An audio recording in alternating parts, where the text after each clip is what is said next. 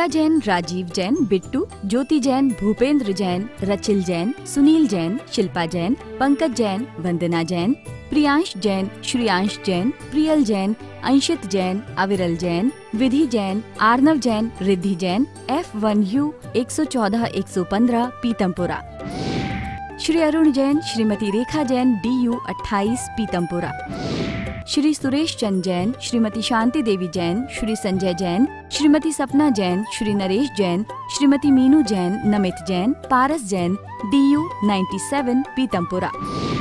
Shri Rajesh Jain चावल वाले, Shrimati Pushpa Jain, Shri Anuj Jain, Shrimati Tamanna Jain, Shri Aman Jain, Shrimati Megha Jain F D twenty nine, Pitampura. Shrimati Birma Devi Jain, धर्मपत्नी स्वर्गीय Shri Lalchand Jain, Shri Sunil Jain, Shrimati Kusum Jain, Shri Saurabh Jain, Shrimati Sonal Jain, Shri Mayank Jain, Shrimati Divya Jain, master Vihaan Jain, baby Maisha Jain D U forty three Pitampura. Shri Hemchand Jain परिवार, Shri Pradeep Jain, Shrimati Ruma Jain, Shri Rajat Jain, Shrimati Anshu Jain, master Hridayansh Jain F U eight Pitampura. Shri Anil Kumar Jain, Shrimati Rekha Jain, Shri Kartik Jain, Shri Kunal Jain F one U one thirty seven Pitampura. Shri Santosh Jain, Shri Sanjay Jain, Shrimati Kavita Jain, Kumari Shravi Jain, Shri Rajat Jain D U forty nine Pitampura. Shri Prakash Chand Jain, Shrimati Chandrakanta Jain, Shri Pankaj Jain, Shrimati Neelam Jain, Shri Sushant Jain, Shri Divyansh Jain C U seventy six Pitampura. जय श्री ओम नमः सिद्धेभ्यः। जय श्री महावीराय नमः। जय श्री परम्पराचार्य गुरुवे नमः। जय श्री उमा स्वामी गुरुवे नमः। जय श्री शांति सागर गुरुवे नमः। जय श्री विद्यानंद गुरुवे नमः।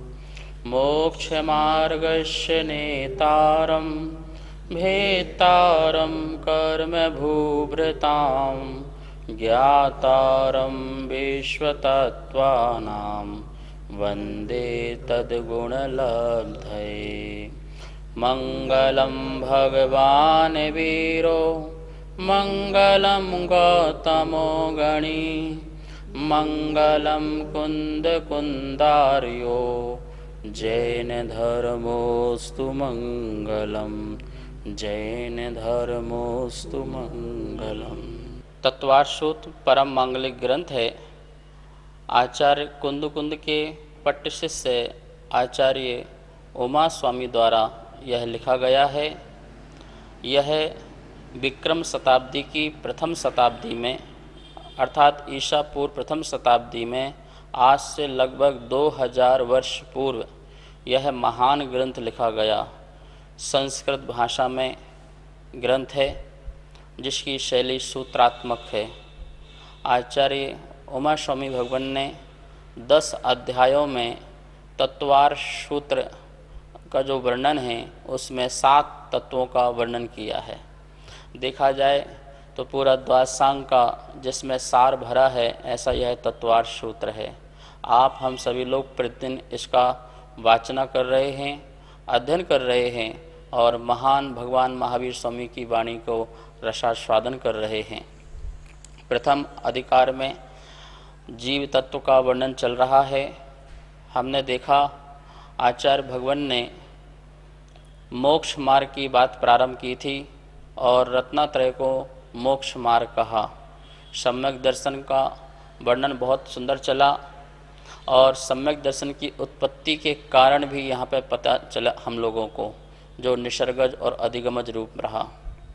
कल एक प्रश्न महानुभाव का आया था क्लास के उपरांत कि पाँच प्रकार की लब्धियाँ होती हैं, उसमें से तीसरी लब्धि देशना लब्धि है।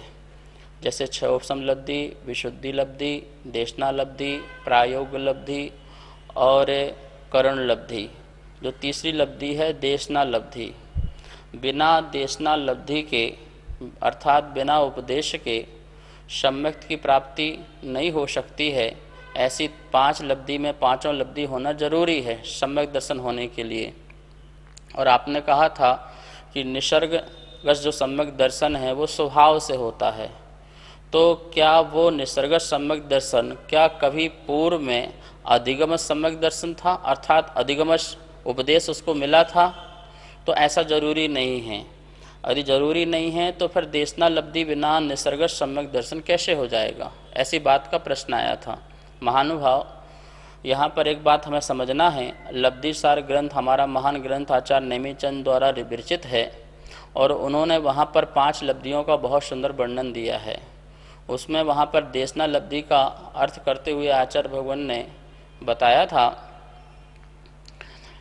पाँच जो अस्तिकाएँ हैं सट द्रव्य हैं, सात तत्व हैं और नौ पदार्थ हैं। इनको जानने वाले ऐसे आचार, उपाध्याय, साधु आदि निर्गंथ गुरु, उनका उपदेश मिलना देशना लब्धि है। अथवा, एक शब्द और बोला उसमें, अथवा। इनका सानिध्य पाना भी देशना लब्धि है। ज़रूरी नहीं है कि उपदेश मिलेगा तो ही देशना मिलेगी और हमको कल, हमारा कल्याण होगा। सानिध्य मिल जाना मात्र ही यह देशना लब्धि का काम बन जाता है। कभी कभी होता है, किसी को गुरु समझाते हैं तो समझ में आता है, कभी ऐसे भी होता है कि उस जीव का ऐसा उदय आया कि नहीं समझाना पड़ा मात्र गुरु को देखने मात्र से, उसको बीतरागता समझ में आ गई। गुरु को देखने मात्र से उसे मोक्ष मार्ग समझ में आ गया तो उससे भी उसे सम्यक दर्शन की प्राप्ति हो सकती है। जैसे मैंने आपको बताया था कि गौतम गढ़धर स्वामी को उपदेश थोड़ी मिला।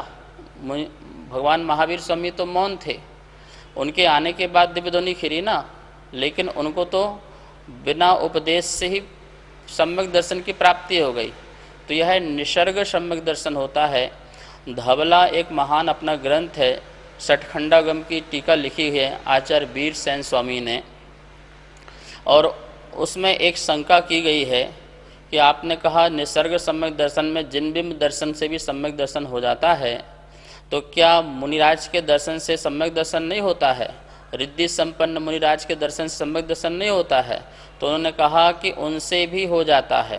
तो फिर आपने यहाँ पर सम्यक दर्शन की उत्पत्ति में यह कारण क्यों नहीं बताया? तो उन्होंने कहा कि हमने मुनिराज के दर्शन भी जिन बिंब में ही गर्वित कर दिया है।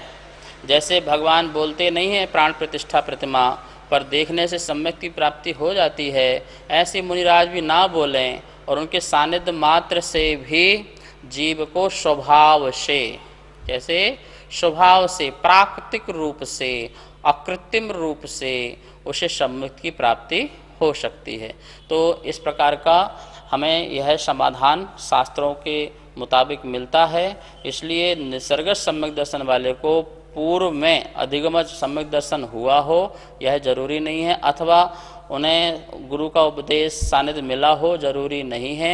अनादि मिथ्या दृष्टि ऐसा जीव हो सकता है जिसको आज तक दर्शन न मिला हो और अचानक भगवान का सानिध्य मिल जाए, गुरु का सानिध्य मिल जाए और देख करके उसकी विशुद्धि बढ़े, अहो! ये तो ऐसे परमात्मा, ऐसे गुरु, सच्चे भगवान तो यही दिख रहे हैं, यही गुरु सच्चे लग रहे हैं, बस। इतने मात्र से उसे क्या होगा? विशुद्धि बढ़ेगी, दर्शन मोहिनी का, उसका क्या हो जाएगा? उपसम छय छय उपशम जिसका हो रहा है और समय आ रहा है उसका मोक्ष का तो वह जीव जो है शीघ्रता से सम्यक को प्राप्त कर जाएगा निकट भव्य जीव है वह। इस प्रकार से यह बात यहाँ पर, कल के शंका का समाधान यहाँ पर हुआ। हम सभी लोग सात तत्वों का वर्णन पढ़ रहे थे। आचार्य भगवान उमा स्वामी के सूत्र में जो चौथा नंबर का जो सूत्र था, उसमें देखा था सात तत्व, क्योंकि उन्होंने कहा था, तत्वार्थ का सिद्धांत करना सम्यक दर्शन है। तो तत्व कौन से थे? तो कल सात तत्वों के नाम अपन ने सुने थे। आज अपन सात तत्वों के जो सूत्र था उस सूत्र को पुनः एक बार देखते हैं और उसकी व्याख्या करते हुए समझते हैं कि इन सूत्रों का क्या अर्थ है और इन तत्वों का हमारे जीवन में क्या उपयोगिता है, इस बात को समझते हैं। उसके पहले एक बार बोर्ड में अपन इस सूत्र को पुनः एक बार समझते हैं। तो यह सूत्र है, जीवा जीवाश्रव बंध संबर निर्जरा मोक्षास तत्वम ये सूत्र अपन ने पहले पढ़ा था। एक बार पुनः देखते हैं। जीवा जीवाश्रव बंध, संबर, निर्जरा, मोक्षास, तत्वम। इस प्रकार से। संधि टूटी थी तो जीव, अजीव आश्रव बंध, संबर, निर्जरा मोक्ष सा का क्या हो गया? विसर्ग और तत्वम। अर्थात ये तत्व जो है अंत दीपक है, इसको सबके साथ लगा लीजिए। जीव तत्व, अजीव तत्व आश्रव तत्व बंधर, बंध तत्व, संवर तत्व, निर्जरा तत्व और मोक्ष तत्व। इस प्रकार से यहाँ पर सात तत्व यहाँ पर अपन ने जाने थे। और इसके बारे में अपन ने जीव की परिभाषा पढ़ी थी, जीव तत्व और अजीव तत्व। दो बात अपन ने पढ़ ली थी। जीव तत्व जिसमें चेतना हो, जो जान, जानना और देखना जिसका स्वभाव हो, ऐसा ज्ञान उपयोग और दर्शन उपयोग जिसका लक्षण हो, उसे अपन जीव कहते हैं, और जिसमें चेतना नहीं होती है, उसे अपन अजीब कहते हैं। आज अपन आश्रव बंध संबर, निजरा और मोक्ष, इसके बारे में देखते हैं और इसकी व्याख्या करते हैं। हमने कल बताया था कि आश्रव के दो भेद हैं बंद के दो भेद हैं, संबर के दो भेद हैं निर्जरा के दो भेद हैं और मोक्ष के भी दो दो भेद हैं। अर्थात यहाँ से जो पाँच तत्व हैं, उन पाँच तत्वों के दो दो भेद हैं। कौन कौन से? आश्रव में लिए दो भेद तो द्रव्य आश्रव और एक भाव आश्रव। द्रव्य बंध और एक भाव बंध। द्रव्य संबर और भाव संबर। द्रव्य निर्जरा और भाव निर्जरा। द्रव्य मोक्ष और भाव मोक्ष। इस प्रकार से यहाँ पर दो दो प्रकार से इसके भेद हुए। और अपन इन सब का अर्थ समझने का प्रयास करते हैं। तो यहाँ पर अपन समझते हैं द्रव्य तत्व और भाव तत्व। द्रव्य तत्व की जो बात होगी वो कर्मों की अपेक्षा से होगी। भाव तत्व की बात होगी वो आत्मा के परिणामों की तरफ़ से होगी। ठीक है? ध्यान रखना। आपके पास यदि कॉपी पेन हो तो आप इसको नोट करते रहना। आपको याद रहेगा, स्मरण में रहेगा, और इसको लिखते जाना। द्रव्य तत्व के बारे में क्या बता रहा हूँ? जो कर्मों की तरफ़ से व्याख्या होगी, उसे आप द्रव्य तत्व समझना। जो आत्मा के परिणामों की तरफ़ से व्याख्या होगी, उसे आप भाव तत्व समझना। और अपन को इनको पाँच चीज़ों में लगाना है। आश्रव, बंद, संबर, निर्जरा और मोक्ष। अब आप देखिए, यहाँ पर आपको स्लाइड दिख रही होगी, द्रव्य तत्व की। यहाँ पर आपको दिख रहा है ना, द्रव्य तत्व। अब इस द्रव्य तत्व में क्या क्या लिखा हुआ है? पहले लिखा है कर्मों, क्या लिखा है? कर्मों।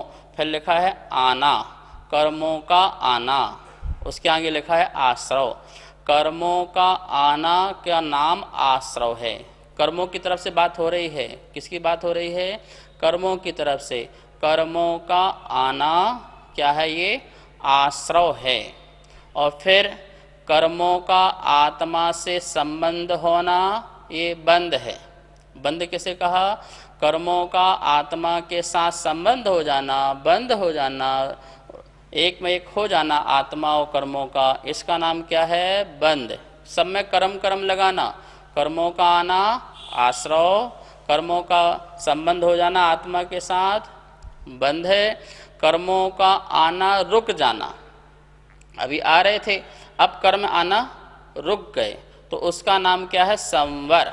उसका नाम क्या है? संवर। और कर्मों का एक देश खिरना थोड़ा थोड़ा करके क्रम क्रम से थोड़ा थोड़ा करके कर्मों का आत्मा से बाहर निकलना, ये सब क्या हो जाएगा? जो बंधे थे, वो छूटना और अलग होना, उसका नाम क्या है? निर्जरा। क्या है? निर्जरा। तो कर्मों का खिर जाना, एक देश निकल जाना, उसका नाम क्या है? निर्जरा।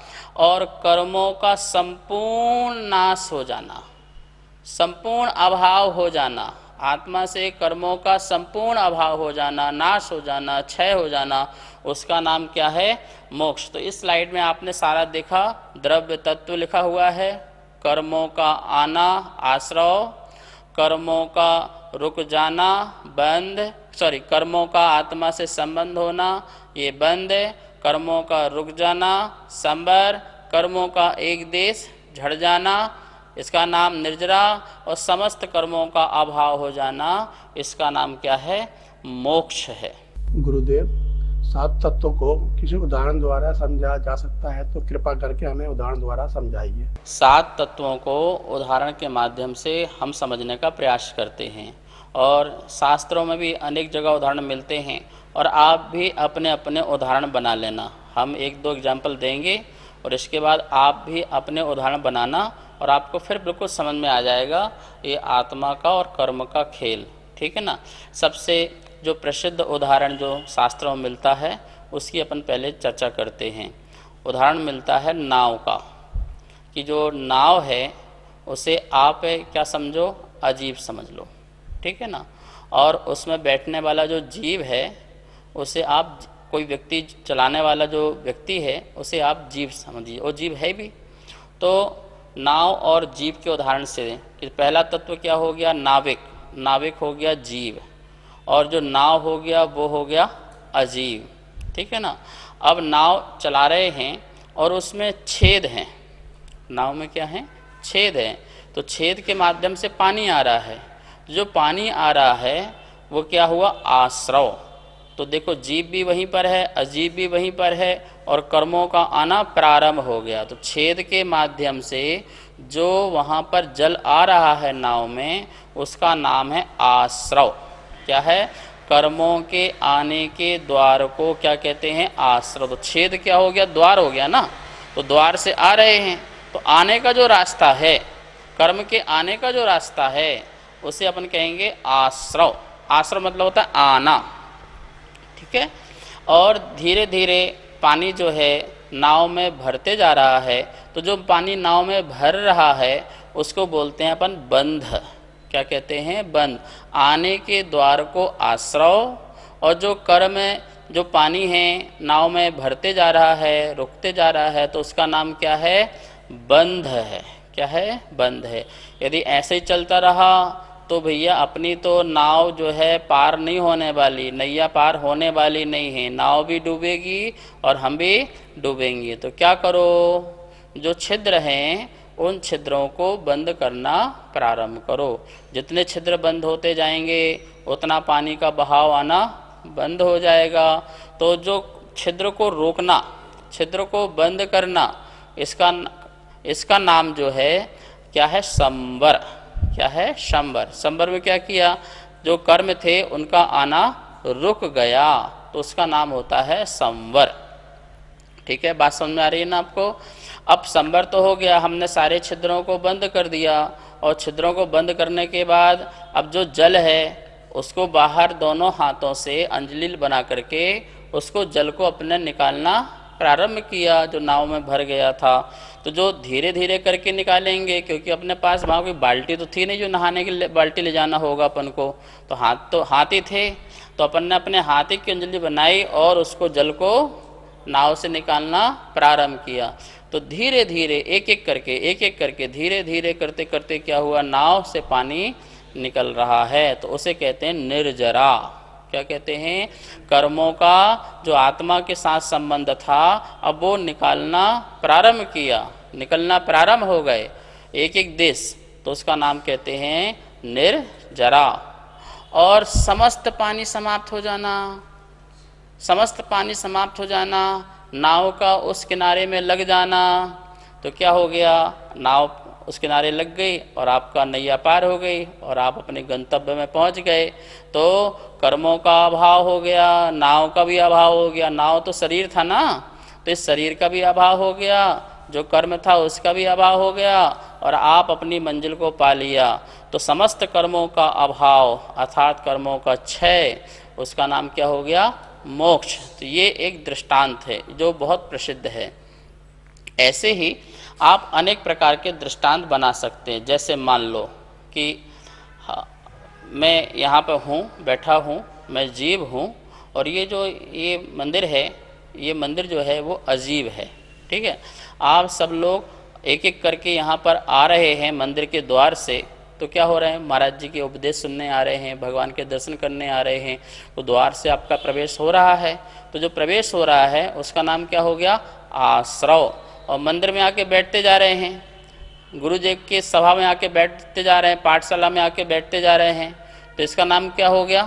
बंद। द्वार से आने का नाम क्या था? आश्रव और यहाँ आके बैठते गए उसका नाम क्या हो गया? बंद हो गया। और अब भैया, क्लास समाप्त हो रही है जावाणी का ज्ञान से हो गया, नौ बार नमोकार मंत्र हो गया, अथवा पूजा पाठ का विसर्जन हो गया तो एक एक करके सब लोग क्या कर रहे हैं? जाने लगे। तो एक एक करके जो जा रहे हैं, उसका नाम क्या है? निर्जरा। और पूरा मंदिर खाली हो गया। पूरी सभा खाली हो गई। तो क्या हो गया? लो, कितना सरल है ना मोक्ष? आप सबका क्या हो गया? मोक्ष हो गया। भैया, ये दृष्टांत है। ठीक है? दृष्टांत से सिद्धांत गठित करना है हमें। तो इस प्रकार से आप कितने बना सकते हो? आप सैकड़ों उदाहरण बना सकते हो। और आप भी चिंतन करके बनाना। जैसे आप गाड़ी में जा रहे हैं। तो गाड़ी चलाने वाला क्या हो गया? जीव गाड़ी क्या हो गया? अजीब। बस में एक एक करके लोग आने लगे तो क्या हो गया? आश्रव सीट में सब बैठ गए तो क्या हो गया? बंद है। सबका अपना अपना स्थान आते गए, उतरते गए तो क्या हो गया? निर्जरा और सारी बस खाली हो गई। तो क्या हो गया? मोक्ष हो गया। कितना सरल है। बस का मोक्ष हो गया कि आत्मा का मोक्ष हो गया? है? भैया, बस का मोक्ष नहीं कराना है, अपनी आत्मा का मोक्ष कराना है। तो आप लोग भी इस प्रकार से बहुत दृष्टांत बनाना। दृष्टांत बना करके द्राष्टांत सिद्ध करना। कहना क्या चाह रहे हैं? ठीक है ना? आत्मा और कर्म की बात चल रही है कि आत्मा ऐसे भाव करती है तो कर्म आते हैं और भाव करती है तो कर्म बनता है और ऐसे एक भाव करती है तो कर्म रुक जाते हैं। और और अच्छे भाव करती है तो कर्म की निजरा होने लगती है, और बढ़िया भाव करती है तो आत्मा का मोक्ष हो जाता है। तो अपन ने अभी यहाँ पर द्रव्य तत्व के बारे में समझा। क्या समझा? कर्मों के आने के द्वार को आश्रव कर्मों का आत्मा से संबंध हो जाने का नाम बंध है, और कर्मों का एक, कर्मों का रुक जाना, आना रुक जाना, संबर, और कर्मों का एक देश झड़ना नष्ट होना निजरा और समस्त कर्मों का अभाव हो जाना इसका नाम क्या है? मोक्ष। नमस्ते गुरुदेव ये कर्म हमारे आश्रम रूप में कब से आ रहे हैं और कब तक चलते रहेंगे? कृपया इसकी व्याख्या कीजिए। बहुत सुंदर प्रश्न है और ये अनेक लोगों के मन में यह प्रश्न आता है कि गुरुदेव हमारे जो कर्म है कब से आ रहे हैं और कब तक चलेंगे कब इनका अंत होगा? तो महानुभाव इसके लिए आगम में बहुत अच्छा आंसर दिया है अनादि संबंधे चा अनादि संबंधे चा कर्म का और आत्मा का अनादि काल से संबंध है। ऐसा नहीं है कि आत्मा पहले शुद्ध रही होगी, बाद में कर्म ग्रहण करके फिर अशुद्ध हो गई होगी, ऐसी मान्यता जैन धर्म में नहीं है। क्योंकि एक बार आत्मा शुद्ध हो जाने के बाद पुनः अशुद्ध नहीं होती है। एक बार आत्मा शुद्ध बन जाने के बाद पुनः संसार में नहीं आती है। इसलिए अनादि संबंधित अनादि काल से यह, जिसका आदि नहीं हुआ, अनादि जैसे एक राउंड है, सर्कल है, उसका आदि कहाँ है? आपसे पूछा जाए, इसका प्रथम स्थान कहाँ पर है? तो प्रथम स्थान कहीं मिलेगा नहीं आपको। ऐसी यह चक्र जो अनादिकाल से, जो जीव और कर्म का चला आ रहा है, शरीर और आत्मा का चला आ रहा है, वो अनादि से चला आ रहा है। ठीक है ना? जैसे बीज और वृक्ष का बीज है तो वृक्ष है वृक्ष है तो बीज है। पहले कौन आया? बीज आया, कि वृक्ष आया? तो ये कोई आंसर नहीं हो सकता है कि बीज और वृक्ष ये अनादि से संबंध है। ऐसे ही कर्म और आत्मा का अनादि संबंध है। तो चलो जो अनादि संबंध है, उसके लिए हमें इतना दिमाग लगाने की ज़रूरत तो नहीं है। अब तो ये लगाना है कि हमें ज्ञान मिल गया है। कि इसे क्या रोका जा सकता है तो हाँ इसे रोका जा सकता है। बीज को जला दो, वृक्ष नहीं बनेगा। तो ये ये बात है, ऐसे कर्म को नष्ट कर दो तो आत्मा जो है, पुनः पुनः संसार में भ्रमण नहीं करेगी। तो अपन कर्म को रोक सकते हैं। अब ये अनंत काल चले, ये ज़रूरी नहीं है। हम इसे पुरुषार्थ पूर्वक साधना पूर्वक त्याग तपस्या पूर्वक सम्यक दर्शन को प्रकट करके, सम्यक ज्ञान को प्रकट करके, सम्यक चारित्र को प्रकट करके, रत्नात्रय को प्रकट करके अपनी आत्मा को शुद्ध और विशुद्ध कर सकते हैं और कर्मों के आने के द्वार को रोक सकते हैं। हमारे अंदर शक्ति कर्मों को लाने की है तो कर्म को रोकने की भी शक्ति हमारे अंदर है। तो हम सभी लोगों ने अभी तक द्रव तत्व पढ़ा और अपन अब भाव तत्व पढ़ते हैं। आपके पास यहाँ सामने स्लाइड आई होगी और इसमें भाव तत्व लिखा है। भाव तत्व में क्या लिखा है? शुभ, अशुभ भाव। और फिर नीचे लिखा है शुद्ध भाव। ये दो बातें लिखी हुई हैं, ठीक है ना? तो शुभ, अशुभ भावों की उत्पत्ति। अब भाव तत्व में क्या लेना है? आत्मा की तरफ़ से। आत्मा की उपादान की तरफ़ से लेना है। निमित्त की ओर से बात तो हो गई। निमित्त कर्म था, उससे बात हो चुकी। अब उपादान, शक्ति, निज शक्ति, अपनी स्वयं की निज शक्ति। तो शुभ अशुभ भाव किसके हैं? कर्म के नहीं है, जीव के हैं। जीव के शुभ अशुभ भाव हैं। तो शुभ अशुभ भावों की उत्पत्ति को बोलते हैं आश्रव। कौन सा आश्रव? भाव आश्रव।